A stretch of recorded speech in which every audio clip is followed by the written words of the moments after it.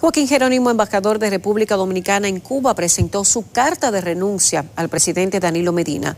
Con este suman tres los funcionarios seguidores del expresidente Leonel Fernández que han renunciado a su cargo. En su carta señala, y cito, por razones de principio y honorabilidad personal, no puedo acompañarle en la convalidación de una práctica para mí inaceptable en contra de la unidad de nuestro partido y de la esencia misma de la democracia en su contenido de voluntad popular.